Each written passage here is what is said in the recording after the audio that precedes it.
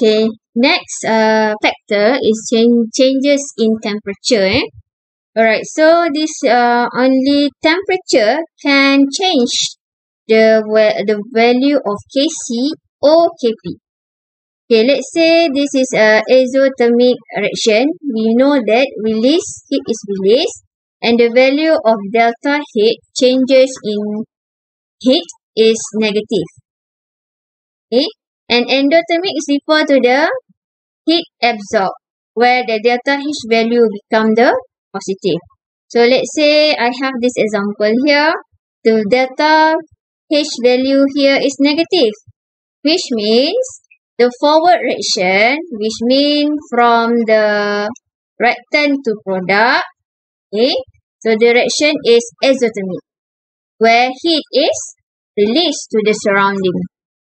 Right, so if uh, the reverse reaction, reverse reaction become the endothermic, heat is absorbed. Okay. Right, so let's say this is the disturbance. So we increase the temperature, okay, which means add more heat. Okay, system try to decrease the temperature. Decrease the temperature by absorb, absorb the heat. Um, so there are so too many heat. Okay, so the system will absorb the heat. So that's that is why endothermic reaction is favorable. Okay, system shift to the left. Okay, in order to undergo endothermic reaction. What will happen next? Okay, right. The concentration of okay concentration of the reactant, both reactant here, will increase. Okay, as the concentration of the product will decrease. So because of that, the value of Kc will decrease in decrease. Okay, so Kc decrease because concentration of the reactant PCl5 decrease, whereas for the concentration PCl3 and Cl2 increase. Right, so next example. Okay, let's say uh, the disturbance here drop in temperature, which means remove the heat. Okay, so the system try to increase the heat by release more heat. Okay, so that is why the reaction is more favor to the exothermic reaction. Shift to right in order to undergo exothermic reaction. What would happen next? Okay, right shift to the right which means the concentration of the product PCl5 will increase whereas for the concentration of reactant will decrease. Okay, so that will affect the constant uh, the Kc value become increase. Okay, so Kc increase because concentration of the product increase, whereas concentration of both reactant decrease. Okay, right. So this one eh, summary keep in mind right. So first of all we have to refer to the value of delta H here Okay, if the return here is negative value, which means the forward reaction is exothermic. Okay, so which means heat is released to the surrounding. Heat is released to the surrounding. Okay, alright, so uh, heat is released by the system to the surrounding. Okay, if, for the reverse reaction is endothermic. Uh, meaning that heat is absorbed by the system. Okay, we increase the temperature, so the reaction will move to the left side. Okay, move, and then the value of case, uh, Kc will decrease. Okay, as the vice versa, decrease the temperature, so the net direction will proceed to the right, and the value of Kc will increase. Okay, so temperature decrease favors an exothermic reaction. Alright, so this is an example. Okay, first of all, you have to refer to the value of delta H. Right, so this is a positive value, which means uh, the forward reaction is endothermic and the reverse reaction is exothermic. So let's say we have the disturbance here, the temperature is increased. Right, so the system try to decrease the temperature but absorb the excess of heat.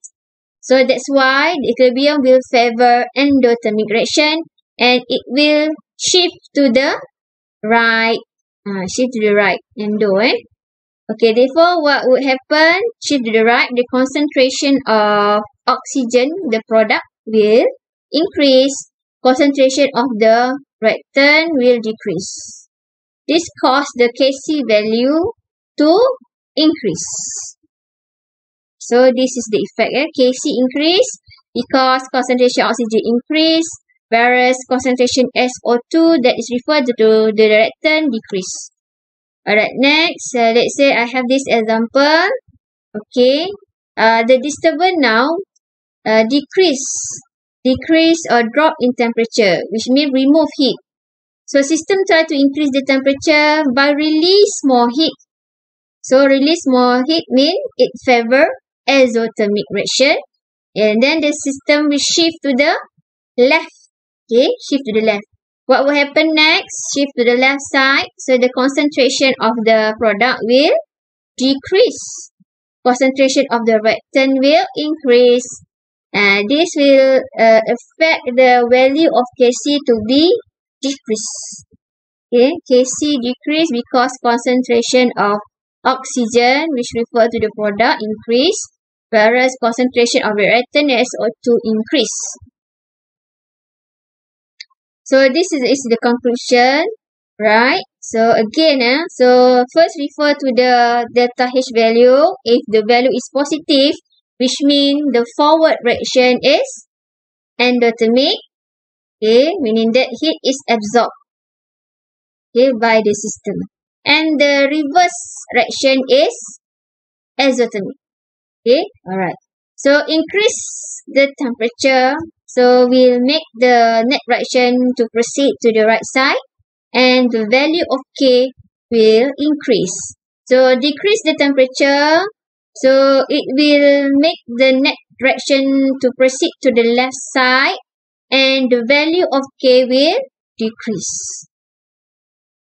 Okay, so temperature increase favor an endothermic reaction. So we take a look at this uh, example here. Okay, this question. Okay, so predict the effect of decreasing the temperature. Okay, on the amount of product. Amount of product in the following reaction. And then you have to explain. Okay, we take a look at the example here. Okay, sample answer. Okay, so when the temperature, first of all, please refer to the delta H value, negative value, which mean at the But for the forward reaction is exothermic. Uh, negative value means forward exo. Okay. Reverse is endothermic. Okay. So, a question here refer to the decreasing the temperature. Uh, decrease means decrease temperature which means remove heat. So, system try to increase the temperature by release. Release here means it favor exothermic. Okay, so it will shift to the right Okay.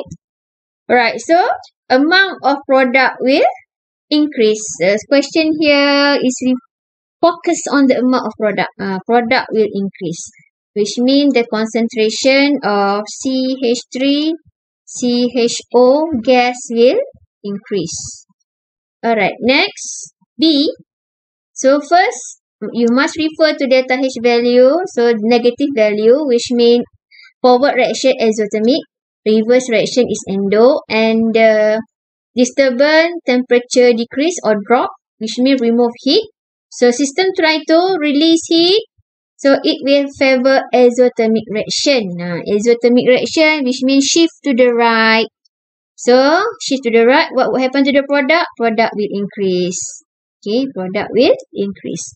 All right next c Okay, so C uh, does not given to you the delta H value, but it's given to you the hint here, exothermic, which means forward reaction is exothermic, reverse reaction is endo, and the disturbance is the same, temperature decrease, okay, temperature decrease by uh, removing the heat. So system try to increase temperature by release heat, so it favor exothermic, exothermic which means shift to the right, So therefore the product will increase. Uh, product will increase. Okay, C.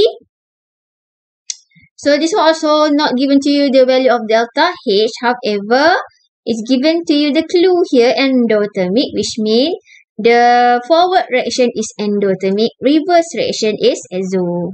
Okay, so therefore the disturbance temperature uh, decrease. Alright, so system try to increase the temperature by release more heat. So which means it's favor exothermic. So shift to the left. Uh, exothermic here left. Okay, what would happen? Uh, product will decrease.